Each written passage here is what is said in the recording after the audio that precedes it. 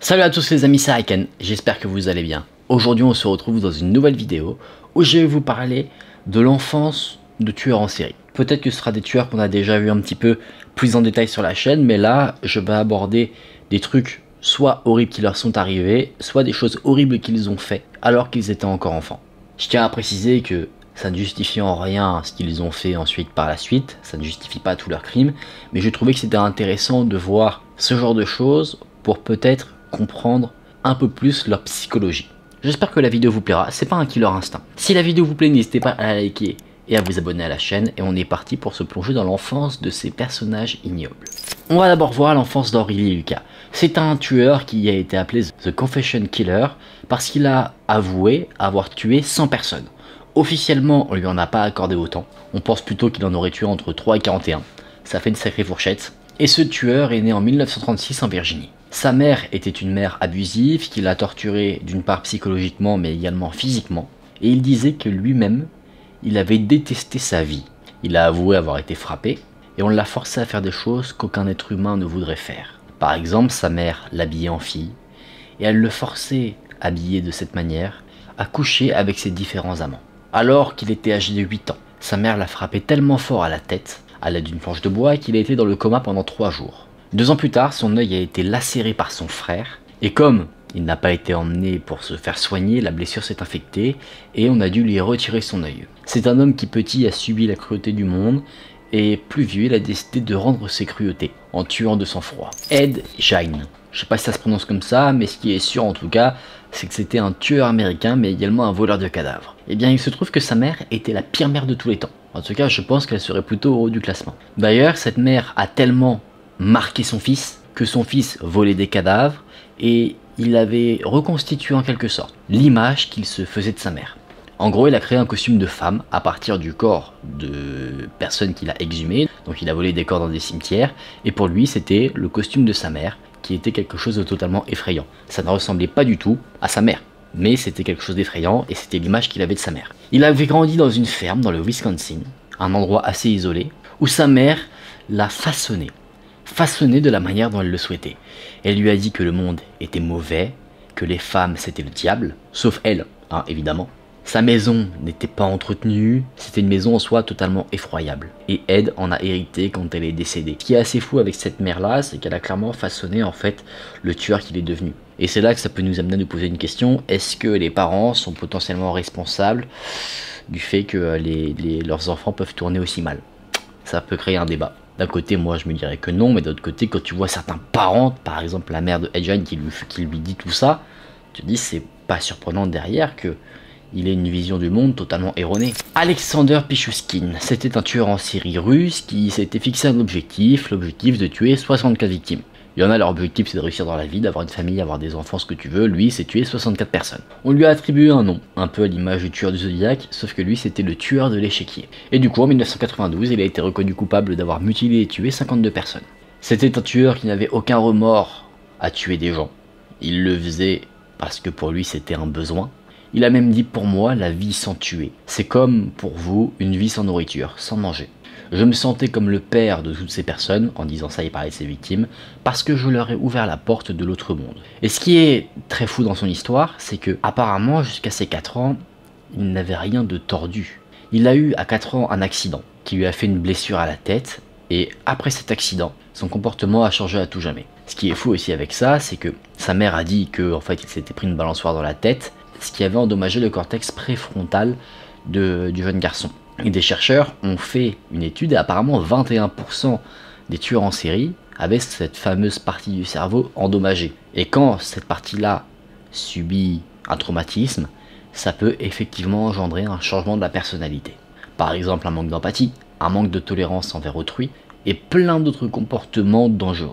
Eileen Vernos. Vous connaissez sûrement son nom, une femme qui a assassiné 7 hommes alors qu'elle exerçait son métier de prostituée. Et eh bien si je vous disais que en se plongeant un peu dans sa jeunesse, on peut remarquer non pas une justification de ce qu'elle a fait, mais des similarités. Des trucs qui concordent où on se dit ok elle a fait ça comme ça parce que dans sa jeunesse il y avait eu ça.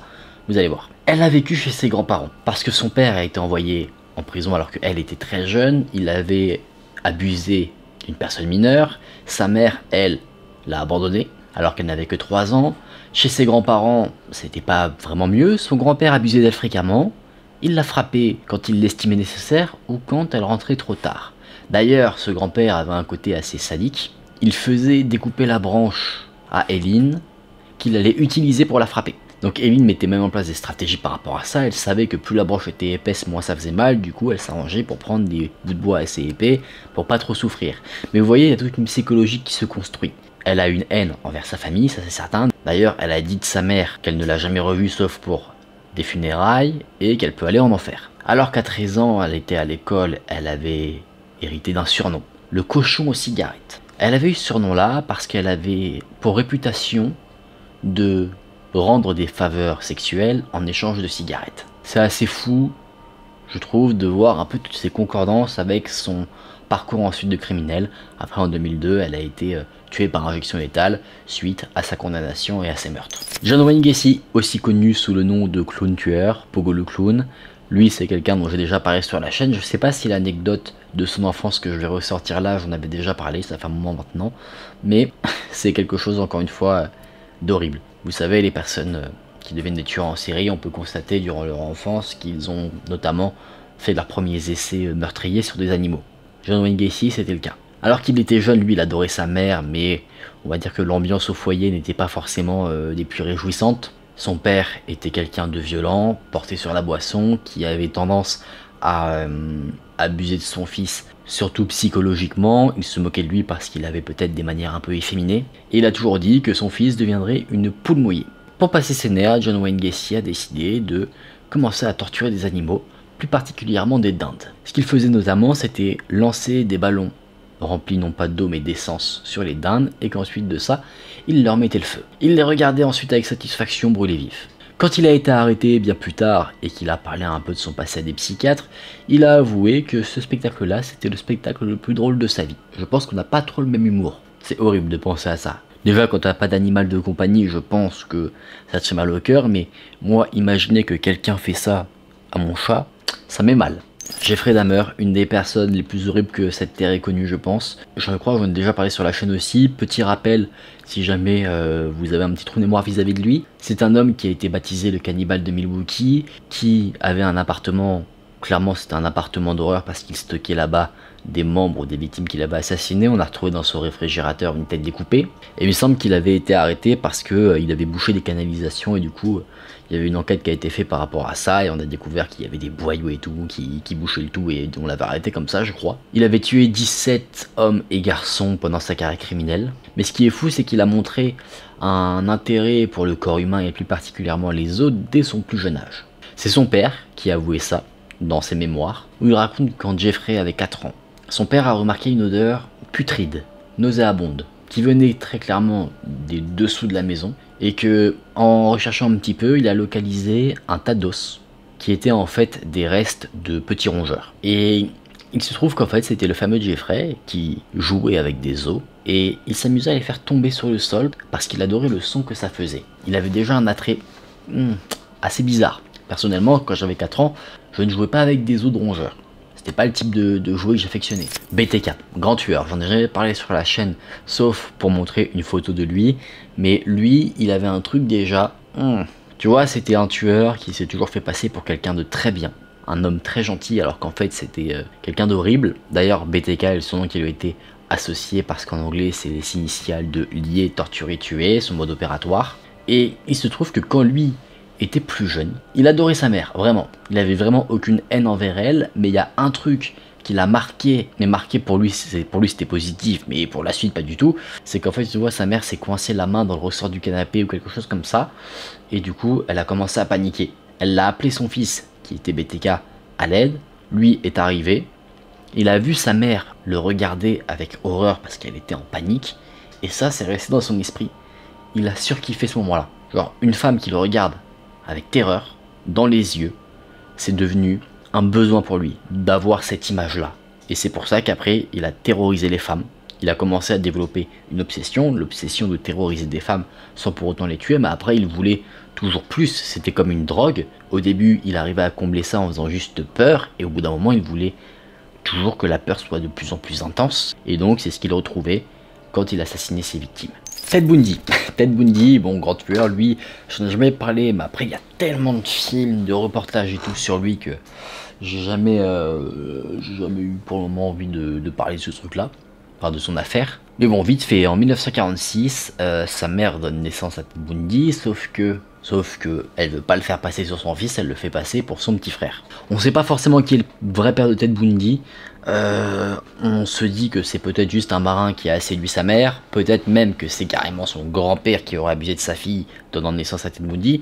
Mais bon, en gros, elle l'a fait passer pour son petit frère, et sa vraie mère était pas forcément du coup la meilleure mère ni la meilleure sœur. Rapidement, Ted Bundy est devenu assez cruel dès son plus jeune âge, cruauté qui se traduisait par la construction de pièges qu'il disposait dans les bois qui était censé faire peur ou mal aux gens qui allaient marcher dessus. Par exemple, une petite fille qui marchait tranquillement dans les bois s'est pris un de ses pièges et sa jambe a été fendue à cause d'une pointe aiguisée qu'il y avait sur le piège. Ce n'est que un petit pourcentage de la cruauté que Tembundi avait et qu'il a ensuite mis en exergue pendant sa carrière de tueur où il a tué bon nombre de femmes. Je vais pas dans le détail forcément parce que c'est un truc connu l'affaire de Tembundi avec ses, euh, ses pièges et tout quand il était gosse. Là on va conclure avec un autre tueur très connu, David Berkowitz. Ce David Berkowitz, alors qu'il avait 6 ans, versait de l'huile à moteur dans l'aquarium de sa mère. Donc pour les poissons, c'est pas quelque chose de très sain. Il voulait clairement les tuer et après il s'amusait à les harponner. Il a également empoisonné l'oiseau de compagnie de sa mère parce qu'il appréciait regarder cet animal mourir sans qu'il ne puisse rien faire, tout doucement. C'est plus tard, alors qu'il était interrogé par un agent du FBI et qu'il a été arrêté, qu'il avait raconté tout ça et qu'il avait dit que en fait, ce qu'il avait fait encore plus kiffer, c'était voir sa mère essayer de ranimer en soi ses animaux sans qu'elle n'y arrive. Ça lui avait fait éprouver une profonde satisfaction et donc cette cruauté, c'est quelque chose qu'il a encore une fois, un peu comme Ted Bundy, eh bien développé pendant sa carrière criminelle où là, il tirait sur des femmes qui étaient garées de nuit. Parfois, il tuait leurs petits amis, mais c'était pas les victimes qu'il visait de base. Lui, ce qu'il voulait viser, c'était les femmes. On en a fini pour ces petites euh, anecdotes sur les euh, enfances de tueurs en série. Euh, dites-moi si vous les connaissiez. Moi, j'ai trouvé que c'était quelque chose d'assez fou. Après, tu vois, il y en a, c'est des trucs qui ne n'indiqueraient rien du tout que l'enfant va, va, mal tourner. Tu vois, par exemple, Jeffrey Dahmer, le fait qu'il joue avec des autres rongeurs, bon, tu peux te dire, à 4 ans, t'as la curiosité et tout, il sait pas ce que c'est. Personnellement, ça choque parce que c'est des os, parce que tu connais derrière ce qu'il a fait. Mais juste tu prends cette info sans savoir qui c'est, bon, as, tu te dis que c'est juste de la curiosité enfantine. Par contre, après, quand tu vois que là, il y a un enfant qui va tuer des animaux ou leur mettre le feu, là, clairement, il y a un vrai problème. Les amis, j'espère que la vidéo vous a plu, vous avez passé un bon petit moment. Peut-être que je vous ai appris des choses. Peut-être que maintenant vous allez vous méfier des enfants. Dès que vous allez voir faire quelque chose, tu vas te dire Attends, mais est-ce qu'il fait ça et que du coup dans 10 ans il va être un tueur? Hmm, Peut-être. Faut pas être parano non plus. Je pense que euh, l'éducation de maintenant a quand même bien changé par rapport aux éducations de, euh, l'époque et on est beaucoup plus euh, attentif à ce genre de, de choses. En tout cas, j'espère. Mesdames et messieurs, j'espère que vous avez passé un bon petit moment. Si c'est le cas, n'hésitez pas à liker la vidéo et à vous abonner à la chaîne. On se dit à très vite dans une prochaine vidéo. Prenez soin de vous, c'était Aken. Salut